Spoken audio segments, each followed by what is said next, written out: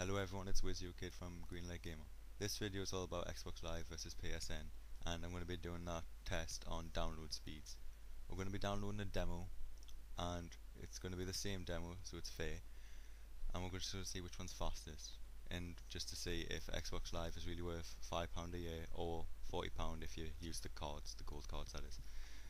We're going to do the FIFA 10 demo which just got released this week and I'd just like to say I've got a 20 megabyte internet connection so they should download pretty quick. Um, yeah, so we're going to start with PS3 and I'll just let the video roll. Enjoy.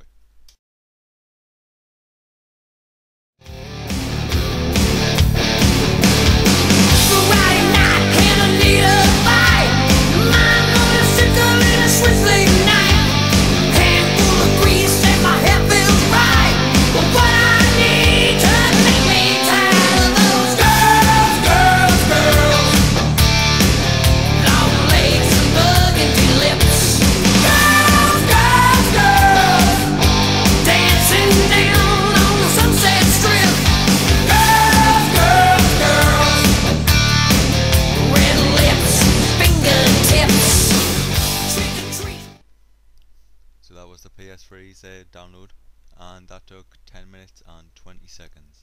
We're not going to bother including installing because we're doing download speeds and installing really isn't downloading anything. So now we're going to move on to the Xbox.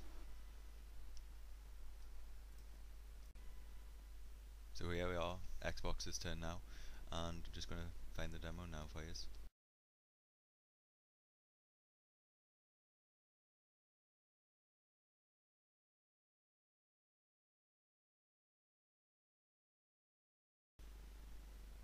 One difference with this demo, as you can see, it's slightly smaller than the PS3's uh, demo.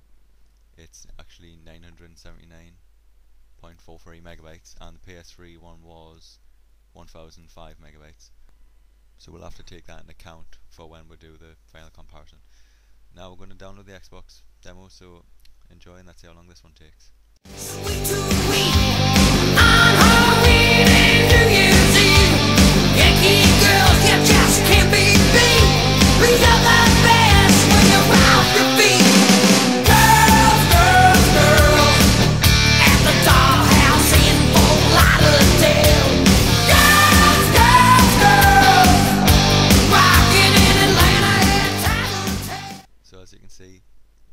Finished downloading the Xbox demo and it was 7 minutes 4 seconds which is about 3 minutes 16 seconds faster than the PS3's download time. So it looks like the Xbox has actually won this match. Even though the Xbox 360 file was slightly smaller than the PS3's even if we took some time off the PS3's time it still wouldn't uh, be faster so it doesn't really matter I hope you enjoyed the video and that was the first test which was download speeds and the Xbox 360 won. I'll probably be doing more tests in the future so keep checking back and hope you enjoyed the video. Thanks for watching. Peace.